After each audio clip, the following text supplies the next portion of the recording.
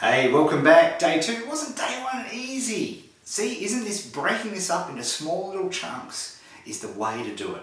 So today we're going to use Market Samurai. It's a very talented piece of software, Market Samurai. It's very talented lads that programmed it.